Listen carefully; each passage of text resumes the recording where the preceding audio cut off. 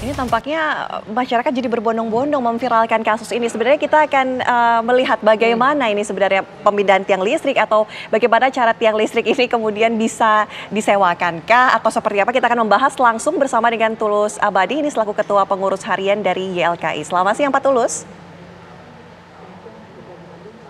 Ya, selamat siang Mbak Ana dan Mbak Putri. Oke, Pak Tulus, kalau kita melihat aturan dari PLN, aturan mendirikan tiang listrik di lahan pribadi, ini sebenarnya seharusnya seperti apa? Apakah memang uh, ada biaya sewaka atau memang ketika masyarakat ingin memindahkan ini mereka harus membayar? Sebenarnya seperti apa sih Pak? Ya, kalau saya baca di Undang-Undang tentang ketenaga listrikan nomor 30 tahun 2009, memang operator ketenaga listrikan dalam ini adalah PLN misalnya, itu boleh melintas di satu lahan milik umum dan juga milik warga.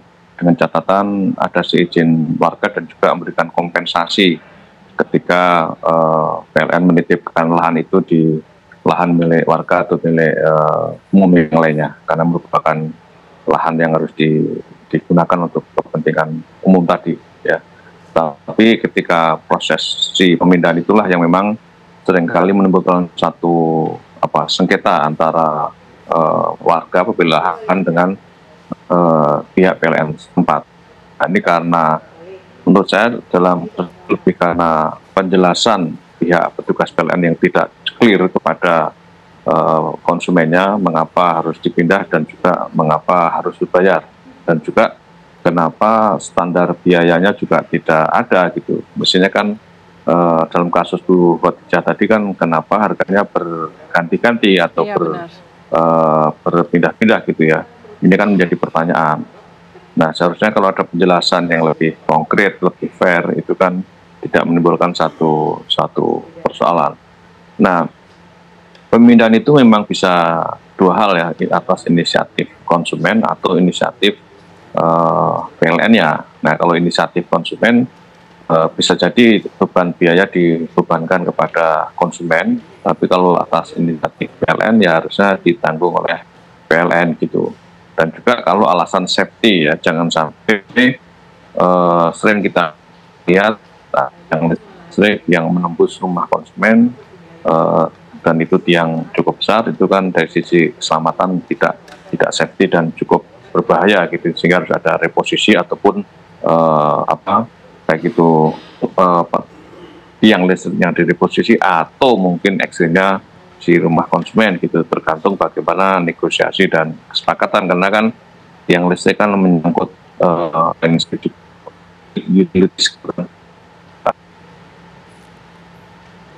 Baik Pak Tulus. Baik Pak Tulus, suaranya terputus Pak Tulus. Baik Halo, Pak Tulus masih Pak bersama ya. kami. Halo Pak Tulus. Tampaknya kita akan memperbaiki komunikasi kita dengan Pak Tulus Abadi selaku Ketua Pengurus Harian YLKI. Tadi sudah disampaikan uh, bahwa sebenarnya eh, boleh-boleh uh, saja ya Ana kalau PLN kemudian membangun atau memasang tiang listrik di uh, atau di halaman rumah pribadi. Tapi dan ada kompensasinya, ada kompensasi, ini perlu digarisbawahi. Artinya sudah ada perjanjian antara pemilik lahan dan juga pihak PLN. Pak Tulus sudah bersama kami kembali? Lima, gue nggak balik ya.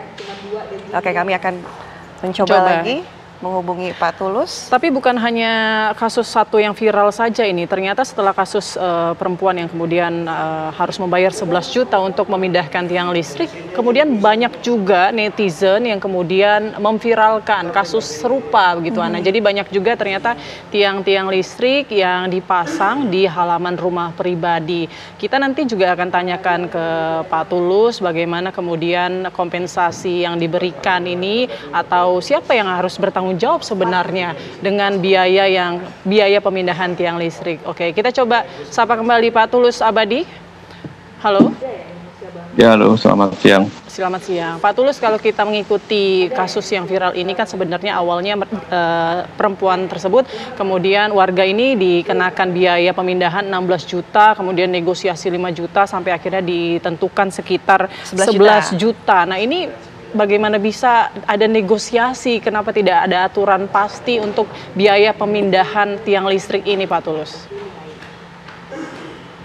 Ya, itu memang aneh dan patut kita pertanyakan. Harusnya standar harganya uh, mestinya sudah uh, standar ditetapkan oleh PLN ya sejak awal. Hitung-hitungannya seperti apa kalau memang harus ditanggung konsumen gitu. Sehingga patut kita pertanyakan kalau kemudian harganya bisa bisa turun ya dari sekian juta menjadi sekian juta itu artinya ada sesuatu yang aneh dengan uh, biaya yang dikenakan itu. Okay. Tetapi sekali lagi mestinya kalau sejak awal ada komunikasi yang baik antara manajemen PLN Sidoarjo dengan konsumen harusnya tidak terjadi perbedaan harga dan tidak perlu konsumen memviralkan itu karena sebenarnya uh, undang-undangnya cukup clear dan ini tugas PLN untuk memberikan itu kepada konsumen dan juga memberikan penjelasan yang detail kepada konsumen. Oke.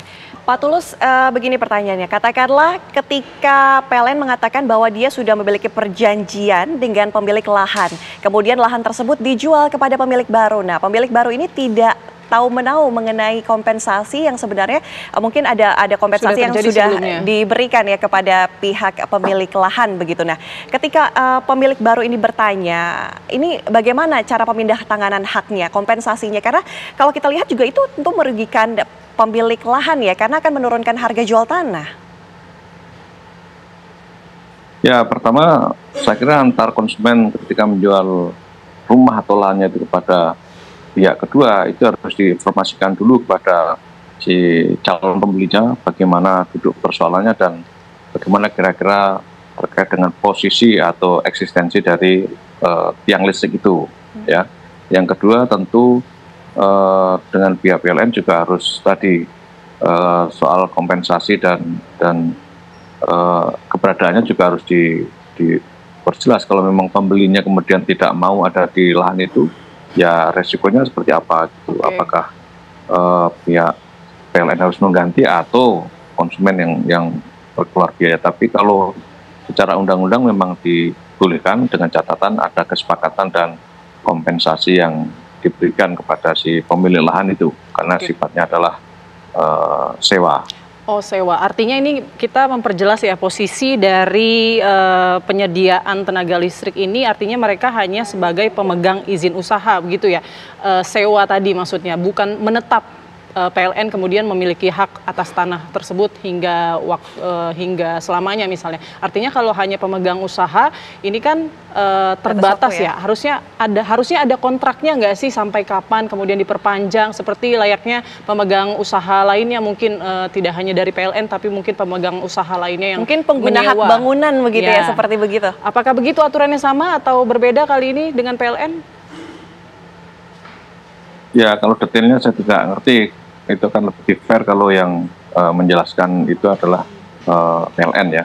Karena itu menyangkut teknis. Tapi sekali lagi secara undang-undang memang karena menyangkut public utilities untuk kepentingan bersama uh, kan sering ya berbagai public utilities itu uh, harus bersinggungan dengan uh, lahan milik warga atau milik instansi. Sehingga harus ada upaya pembebasan lahan atau harus ada sewa dan segala macam. Sama seperti misalnya telekomunikasi memasang PTS ya tower dan lain sebagainya misalnya di tempat-tempat umum apakah di gedung-gedung atau di masjid misalnya sehingga dengan membayar sewa tertentu.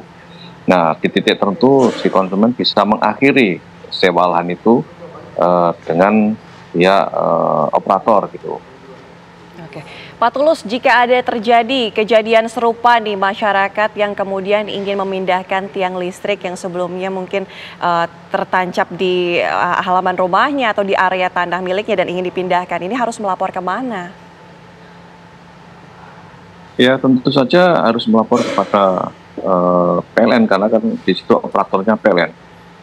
Hingga uh, melapor dinegosiasikan bagaimana uh, uh, penyelesaiannya dan soal teknisnya gitu kan apakah ada penambahan biaya ataupun mungkin dari sisi pembiayaan juga sebenarnya seperti apa gitu kan. Dan saya kira juga harus koordinasi dengan pemerintah setempat ya artinya bisa dengan kepala desa atau mungkin kecamatan dan lain sebagainya karena sekali lagi itu menyangkut uh, instalasi kepentingan umum. Karena ketika dia pindah kan artinya di situ PLN juga perlu tempat tiangnya mau ditaruh di mana karena kalau enggak nanti tidak bisa uh, apa memasok listrik ya kan Karena untuk memindahkan itu yang saya baca dari kasus di Sidoarjo kan harus memadamkan ratusan ribu pelanggan. Nah itu yang mungkin biayanya untuk proses pemindahan dan pemadaman itu.